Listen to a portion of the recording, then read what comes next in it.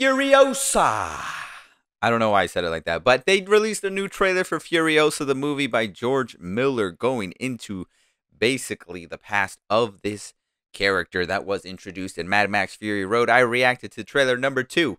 Now, uh, trailer number two. I meant trailer number one. I don't know what's going on with my brain. Anyways, today I'm reacting to trailer number two. So let's get it. Alrighty, I got my headphones on. You already know the drill. Let's put full screen and get this theme going. We've come too far. That's why I said Furiosa. At the beginning. Furiosa! They took Furiosa! George Miller. Indeed a mastermind. Unfortunately, he's not doing the live action My Zelda. world was forever changed. My mother was magnificent. And he took it all from me. Who do we have here? Hmm. She's from a place of abundance. This is our destiny. My childhood. My mother. I want them back. I want them back.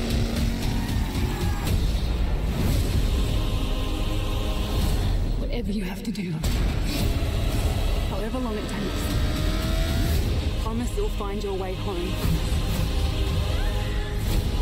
Protect the green place. It's time to take what's rightfully ours. Ready? Steady. Go!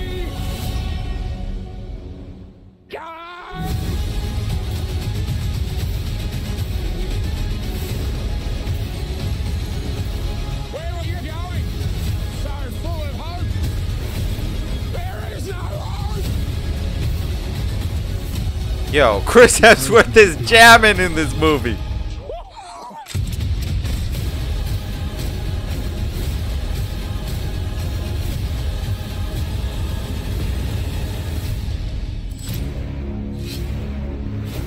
There will always be war, but to get home, Furiosa fought the world.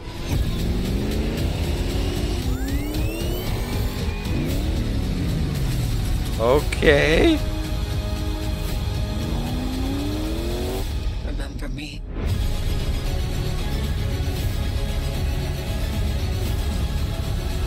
Okay.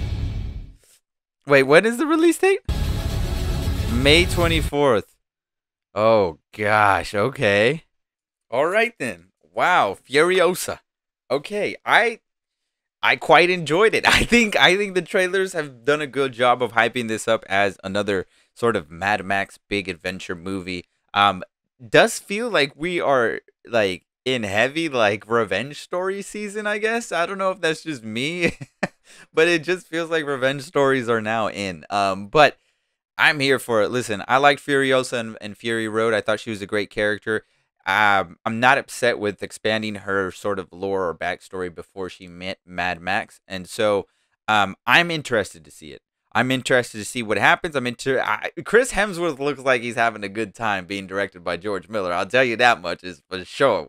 That much is for certain. Boy, look like he having a good time on that set. Um, speaking of the set, though, one of the things that I am a little bit, I feel like I'm always a nitpicker of this, but this feels like it has way more green screen than Mad Max Fury Road did, and I, I don't know how I feel about it. There's a lot of shots in there that are kind of like, eh, a little iffy, but also I say that with a grain of salt because, uh, or just with a tad bit of ten- tentativeness, only because I saw the first trailer when I was watching Dune Part Two in theater and on an IMAX screen, and it felt fine, looked fine. The grain sort of like helped a lot of the scenes.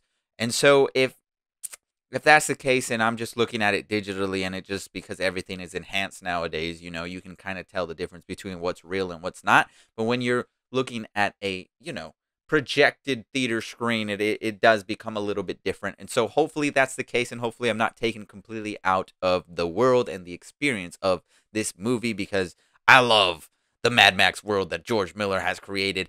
I love every single Mad Max movie. So um, I'm gonna throw this out there. I don't know if I threw it out there in the first Furiosa trailer reaction, but if you want to see me deep dive into the Mad Max world, uh, I know my fian- my uh, uh, my lady has not seen any of the Mad Max movies, and so this would be a good sort of excuse just to rewatch them. So if you guys want to see my deep dive into the Mad Max world from every single movie up until Furiosa, let me know down in the comment section below. And if you've saw, seen the video this far, be sure to like and subscribe because I got way more videos coming. All right, so you don't want to miss any one of them. So hit that notification bell before I go because I'm leaving like like now.